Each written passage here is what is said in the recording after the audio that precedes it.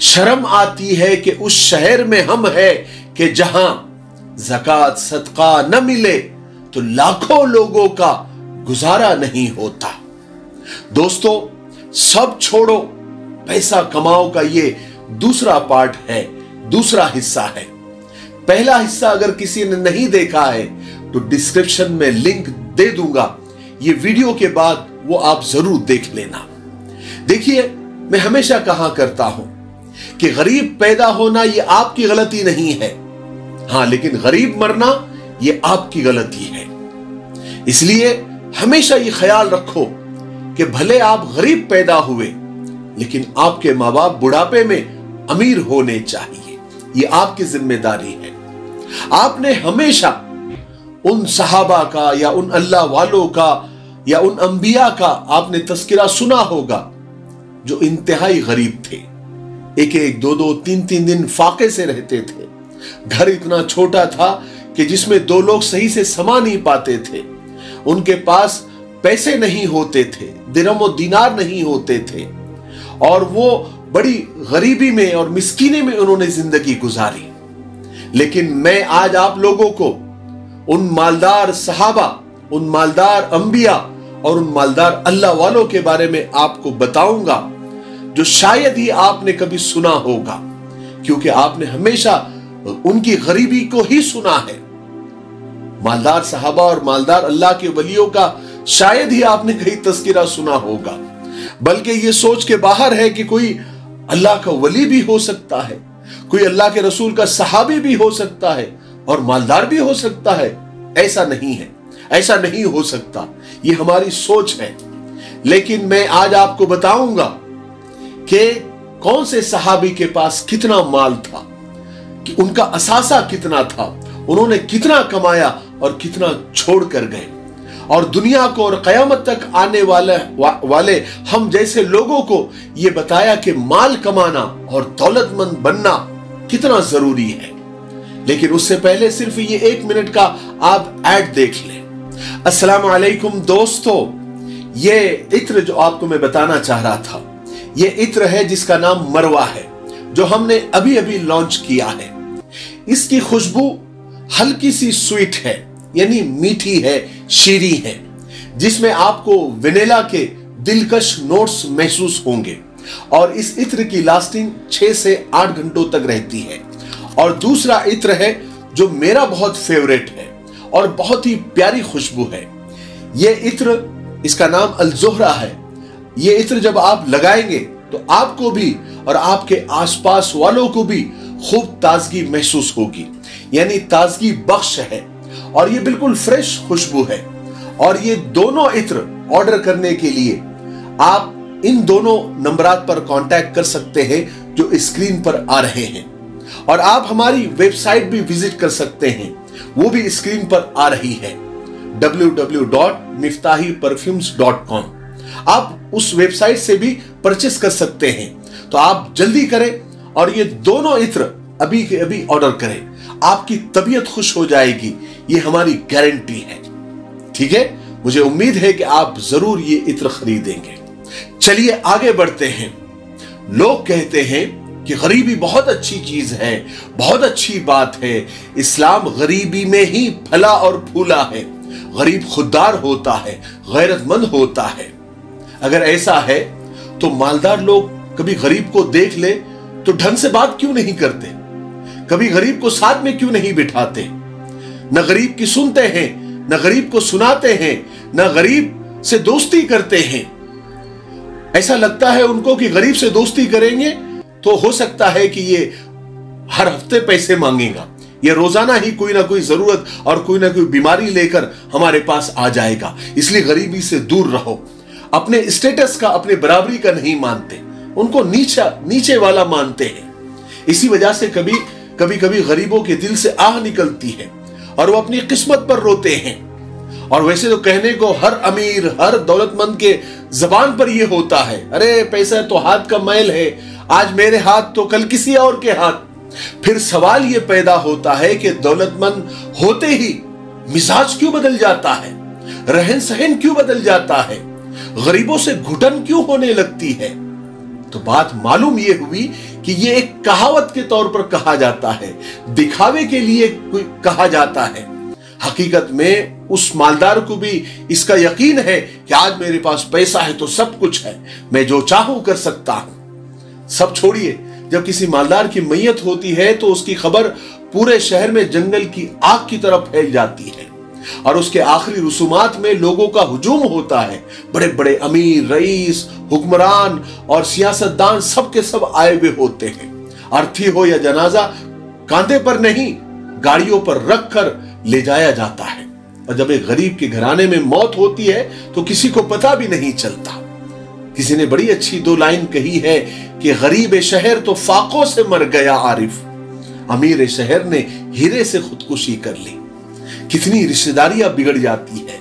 अमीरी और गरीबी के नाम पर कितनी दोस्तियाँ खत्म हो जाती है अमीरी और गरीबी के नाम पर। फिर भी कहा जाता है कि गरीबी बड़ी अच्छी चीज़ है। एक तरफ़ तो कोई मखमल के बिस्तर पर सोता है तो दूसरी तरफ़ कोई अखबार बिछाकर फुटपाथ पर सोता है।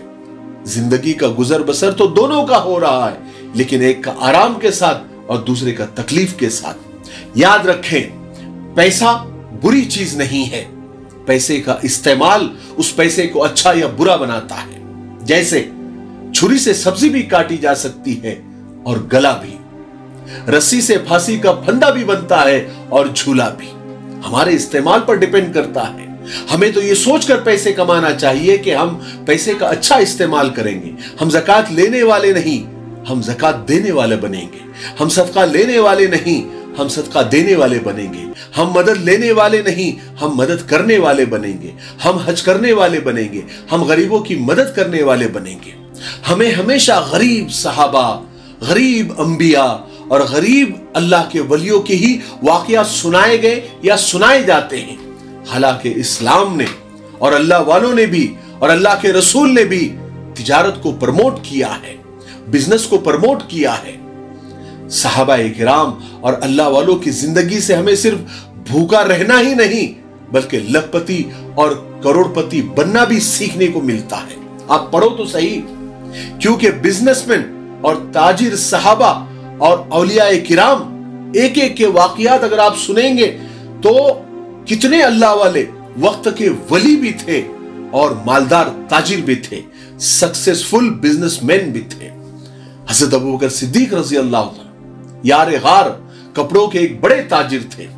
उनके पास चालीस हज़ार दिरम चांदी थी, जो आज के हिसाब से अट्ठावन करोड़ बनते हैं। 58 करोड़ हुए कि नहीं, करोड़पति सहाबी।